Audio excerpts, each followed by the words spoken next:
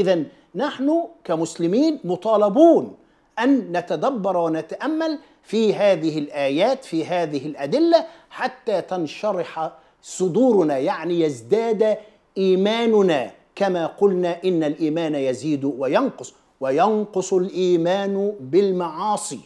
كلما عصيت الله عز وجل نقص إيمانك.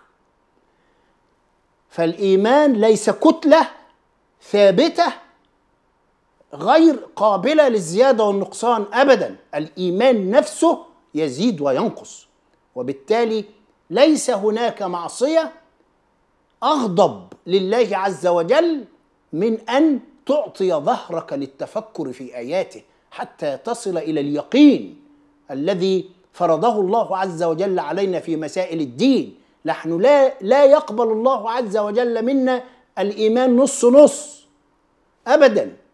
أو الإيمان الناقص.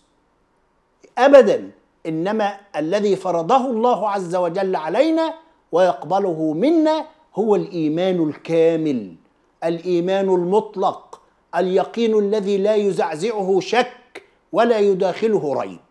فأرجو أيها الإخوة أن ننتبه إلى فرضية هذا الأمر.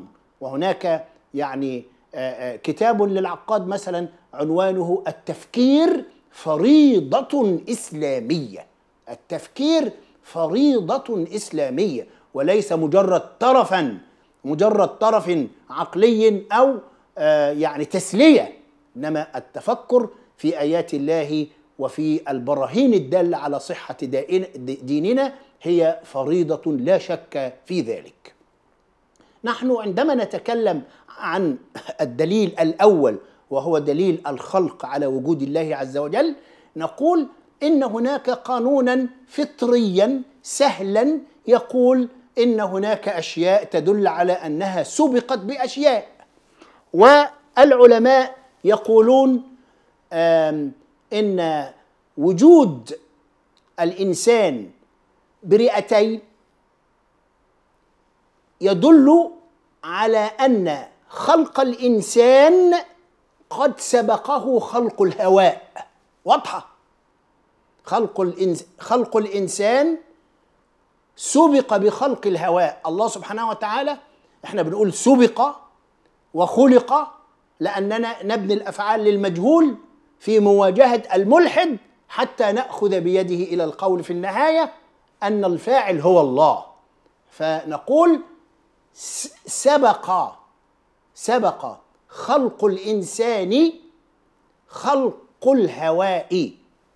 وأنا بقى كمسلم أقول إن الله عز وجل قد هيأ البيئة بيئة الأرض الصالحة لأن يعيش فيها الإنسان قبل أن ينزله فيها.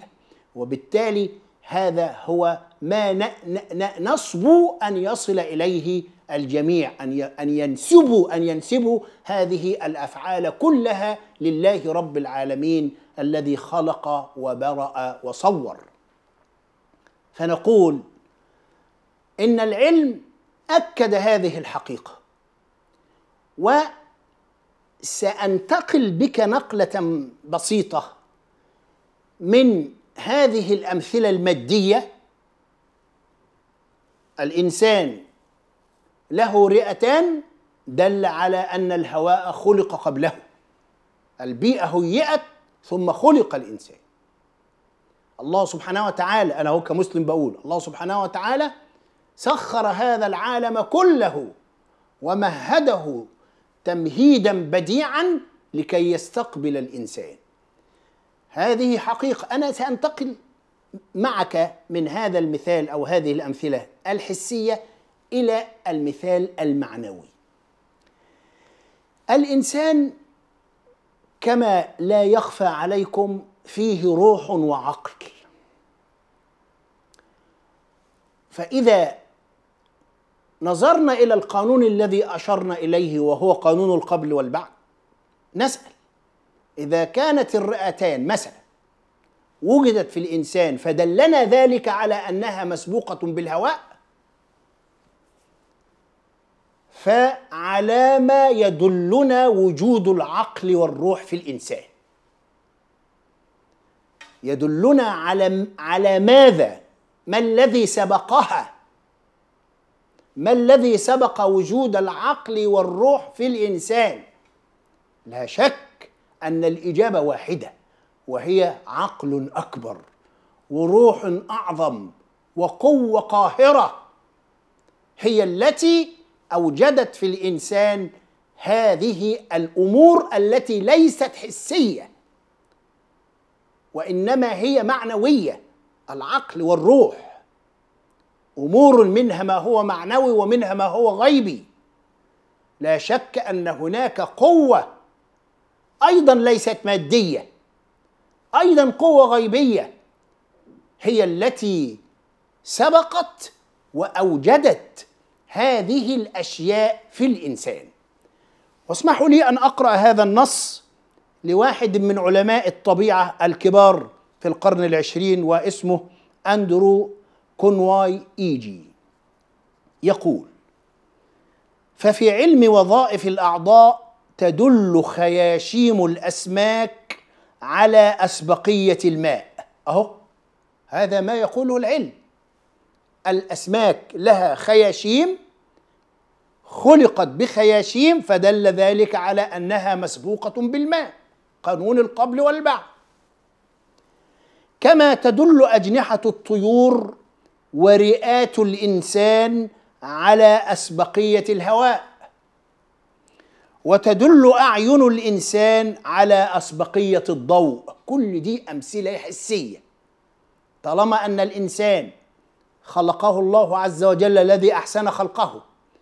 وخلق له عينين فهذا دليل على أن قبل خلق الإنسان كان هناك ضوء.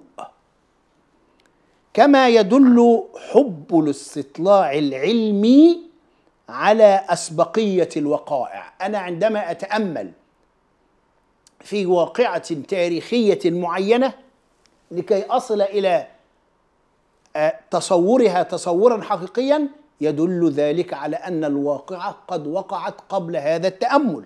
الراجل بدأ ينتقله وكما تدل الحياة على أسبقية القانون الطبيعي اللازم لنشأتها. وإنني أتساءل الآن الكلام ده يقول أندرو كنواني إيجي. يقول وإنني أتساءل الآن أفلا يدل التدبر العميق؟ هنا بقى بدأ يحط إيده على أشياء يمارسها الإنسان بقوة ليست حسية ليست بقى العينين وليست الرئتين. نحن بنتكلم دلوقتي عن أمور معنوية.